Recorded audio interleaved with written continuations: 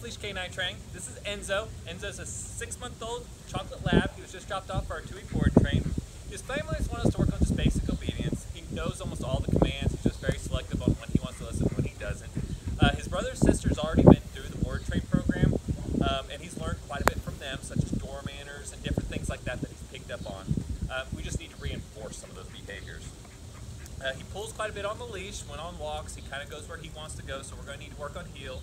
Um, and then just work on his overall stability. When you say sit, meaning sit, he stays there, not get up and wiggle around after a couple seconds of sitting.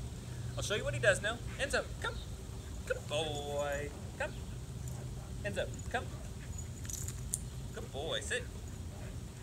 Come. Enzo, come. Good boy. Sit. Enzo, sit. There you go. Down. Good down. That's good boy. Good down.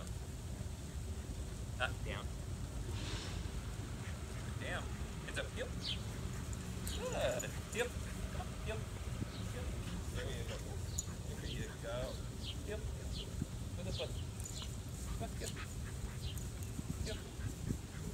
As you can see, he knows some of the commands. His heel is kind of distracted, smelling, doing what he wants to do. So I look forward to showing his progress in two weeks.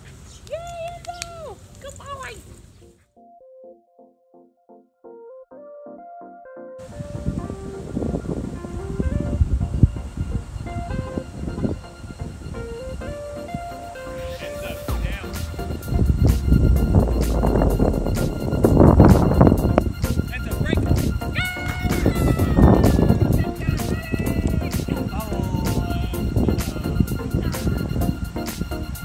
Pebbles, release!